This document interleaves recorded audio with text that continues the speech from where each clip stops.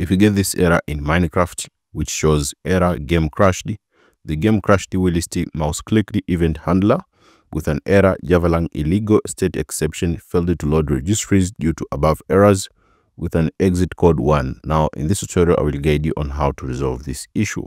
So here are possible causes and their fixes. Now, the first step is check for incompatible or corrupt mods.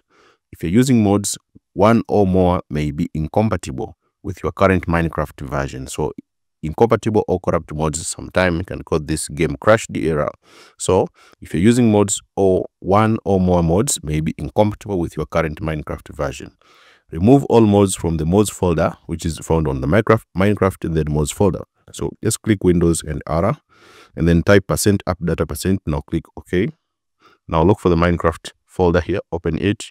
Now look for the mods folder, which is here. Open the mods folder and remove all the mods. Now listen to this very carefully. Remove all the mods from the mods folder, then add them back one by one to see which one is causing the crash. Ensure all mods match your Minecraft version and the Forge or Fabric version. So ensure all mods match your Minecraft version and the Forge or Fabric version. Now another possible fix is can be corrupted or outdated Forge or Fabric loader. If you are running a modded version of Minecraft, your mod loader may be outdated or corrupted. So to fix it, update Forge or Fabric to the latest version or reinstall Forge or Fabric if necessary. The said fix is conflicting or corrupt resource packs. So conflicting or corrupt resource packs can also cause this game crash error. So to fix it, custom resource packs may cause registry issues. To fix it, go to Minecraft, then resource packs folder and remove custom resource packs. So just press window and R again, type percent appdata percent, now click OK. Now look for the Minecraft folder, open it. Now look for the resource packs, open this folder. Now listen to this very carefully.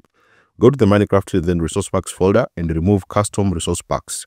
Restart the game and try launching again to check if the issue has been resolved. Now, if you've done so but you're still facing again the same issue, now it can be Java version issues. Minecraft Java Edition requires the correct Java versions. To fix it, you have the latest Java versions installed, download the Java version from this website. The link will be available on the description. Now, ensure you have the latest Java versions installed. If you're using an older version of Minecraft, install Java 8 instead of the latest version. Now, another possible fix is insufficient RAM or conflicting JVM arguments. If you manually set JVM arguments in the launcher, incorrect settings may cause issues.